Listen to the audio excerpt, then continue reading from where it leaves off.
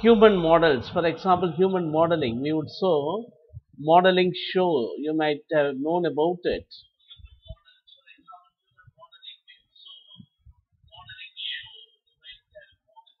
And uh, here, if you take down this modeling, without the simulation, modeling is not possible. Simulation is the imitation of a situation or a process. You may know that. What is simulation? Simulation is the imitation of a situation or a process. As a teacher, uh, you might uh, you may be aware of the word micro teaching because you are going to be a teacher in future. The future teachers have to get a training in uh, micro teaching. Micro teaching is known as a social simulation.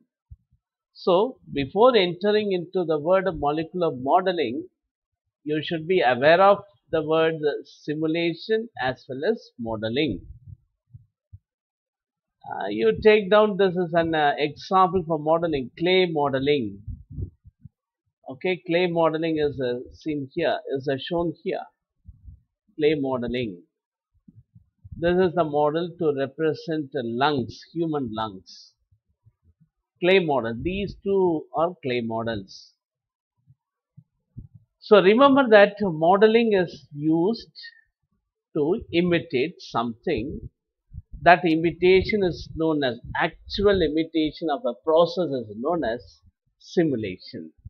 Don't confuse the word simulation with the stimulation. Stimulation can be spelled like that S-T-I-M-U-L-A-T-I-O-N. Whereas simulation is T will be cut off here S-I-M-U-L-A-T-I-O-N simulation. Stimulation is nothing but inducing. Simulation is imitation of a process. Okay. Now you try to understand the concept of molecular modeling. Molecular modeling is a technique for deriving, representing and manipulating the structures and the reactions of molecules and those properties that are dependent on these three dimensional structures. So molecular modeling uh, can be represented using the word molecular graphics, molecular visualizations, computational chemistry or computational quantum chemistry. So all these words uh, are the similar words to molecular modeling. In simple, you have to remember that in molecular modeling, what we are going to do. And as I said earlier, it is a modeling process. All the molecules are combined and they can be modeled. The reaction can be modeled using computer. Why we have to do so? By doing so, we may reduce the cost of chemical reaction or cost of the uh, conducting that reaction. So the whole cost of reactions can be controlled, can be minimized. Number two, instead of wasting more uh, human power, and we may do everything, modeling can be done in the computers itself using a computer software using the simulation technique we can do that. So by doing so and we may go with the specific design because everything is uh, and uh, it is ruled out all this kind of wastage is ruled out using a computer software. So in simple we may remember that molecular modeling allows us to do and teach chemistry in a better way by providing better tools of investigation interpreting, explaining, discovering and discovering a new phenomenon. By doing molecular model, we may reduce the human power, we may reduce the cost of the reaction and we may reduce the cost of chemical usage of chemicals.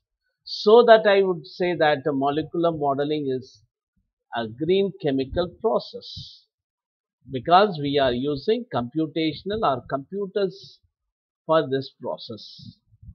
After that when you design a particular uh, model it can be checked or it can be experimented in the computer uh, sorry it can be experimented and that design will be adopted for drug design. Okay, so in that way, molecular modeling is important, that is needed. When you go with this importance of molecular modeling, it has become a valuable and essential tool in the drug design process. Molecular modeling describes the generation, manipulation or representation of three-dimensional structures of molecules and associated physico-chemical properties. So we may recapitulate what we have studied today. So we studied about uh, four words that is, we studied about simulation. Simulation is the imitation of a situation or a process and uh, modeling is the representation of concept or process. Molecular modeling is a computer based means of representing, visualizing and investigating the three-dimensional structures and related properties of molecules. Molecular modeling has become a valuable and essential tool in the drug design process. Now you may have this question in the mind. Are molecular modeling and experimental chemistry same? Answer is simple. No. Why? when you take down molecular modeling, uh, we are doing all kind of theoretical combination using the computer. It is not practically checked. Then why we have to use molecular modeling? To uh, save the money, to save the human power, to save the chemicals. In such a way to save the environment, we have to go for molecular modeling. So molecular modeling is purely a theoretical concept whereas and we may go with uh, precise kind of calculation using molecular modeling with the help of computer software.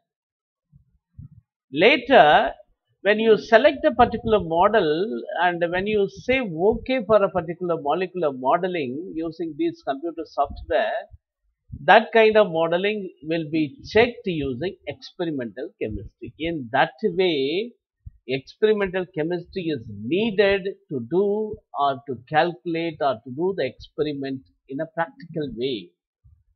But molecular modeling is a theoretical one, but uh, it may give us a precise theoretical concept using computer software.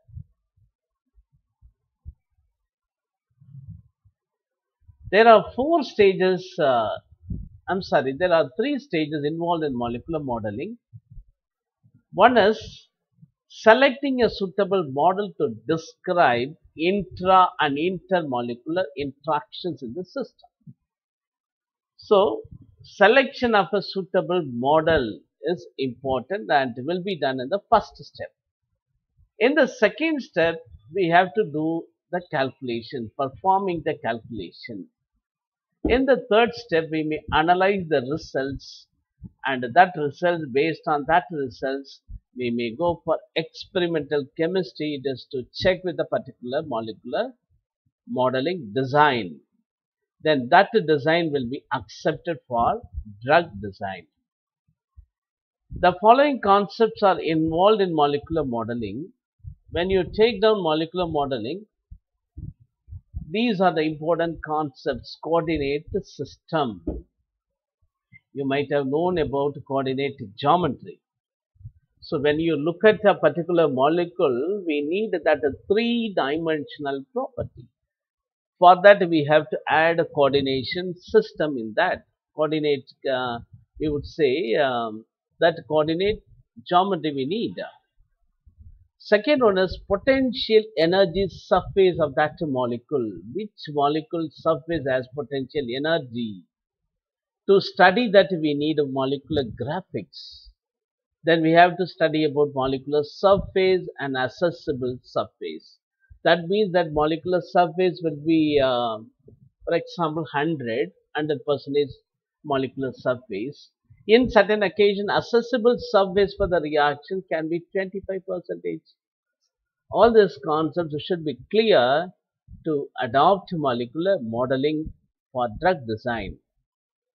Then finally, all these things have to be processed using computer hardware and the software.